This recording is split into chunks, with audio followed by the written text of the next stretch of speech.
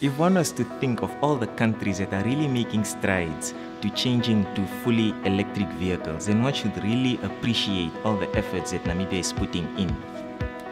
Hi, my name is Ngendikuna Nangula. I'm a learner at Hochland High School. I'm 17 years old, and today I'm here to find out how Namibia is really putting in effort to switching to fully economic, environmental, sustainable energy. Hey, Hi everyone. Hello, sir.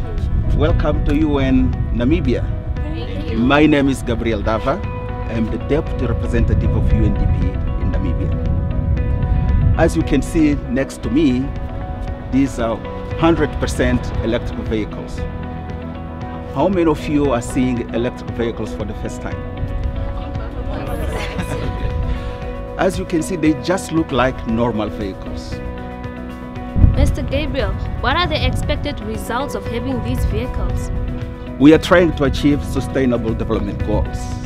Now, to achieve sustainable development goals, we need to take proactive steps.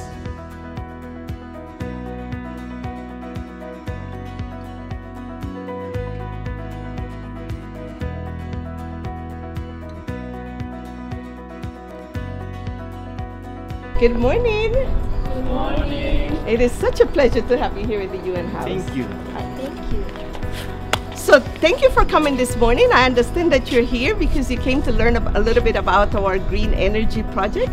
Yes. So, who can tell me what are these panels? Solar panels. Indeed, they're solar panels. These were installed back in 2017 and they currently power about 30% of the overall energy consumption in the UN building. Why did you come up with this method? So the idea is that these panels are also going to be used to power the vehicles that we just introduced in the UN building. So why don't you come with me so I can show you these new vehicles that we just bought? Okay.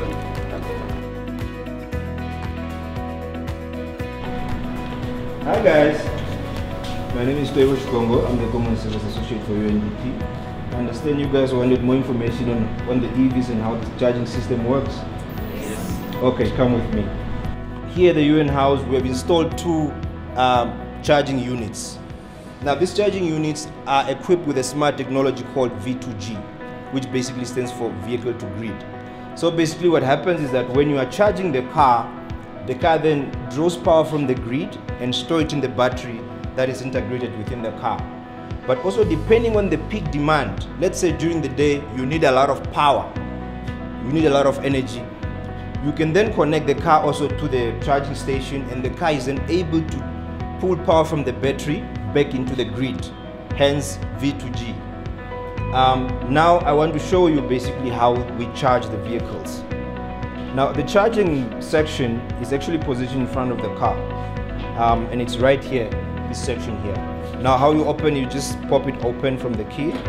Wow! Yeah, you lift the lid um, you then okay you will see that the the units the design and everything else almost looks like your usual fuel-based vehicles that i mean systems that you see at the fuel stations. Nothing different there. And then you then take this pop it in here. Make sure it's firmly pop in there. Now you will see on the screen it tells you that you must connect the cable to the vehicle which is exactly what we've done. Then you just press on start then you hold on a little bit for a few seconds. I want you to look there on the screen, the windscreen there. See, there it goes. It basically means the vehicle is now charged. Interesting. Yes, you have a question? Uh, so do we get to ride in this car? Yeah, sure. Lucky for you, there's one waiting up front.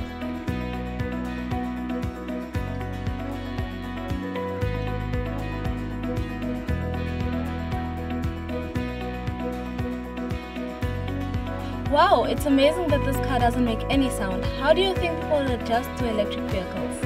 It is amazing, really. It's all about uh, changing behavior and getting used to it because once they see there is no sound, no pollution, it's going to be easy.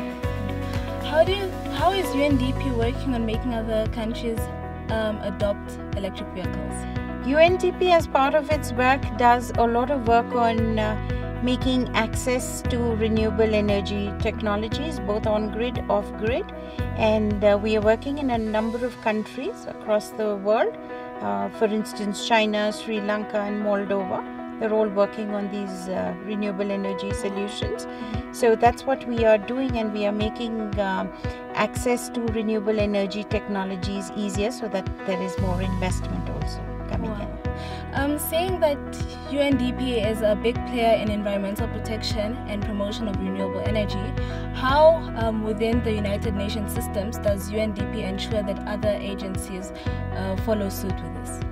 Uh, UNDP is the integrator of the SDGs, and we are carrying the message of connecting the dots amongst all the SDGs. So, we are promoting and advocating for integrated programming. So, if it's about education, how can you twin renewable energy to promoting education, to having good infrastructure, educational facilities, and health facilities? Well, this is also interesting. How do you think us as youth can get involved? Youth have a very important role to play. First, by walking the talk, getting aware, and even by taking the small actions yourself, like switching off your light, cycling to your school, that could be really effective. This, this was such an informative session for us. Thank you. Thank you for being here with us.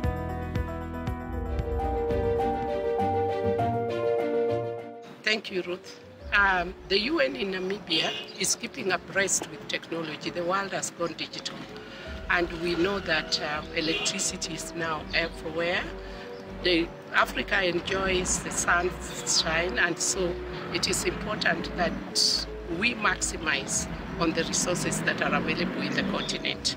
And hence, we decided that the best use of this natural resource is to get a vehicle that is able to take people places.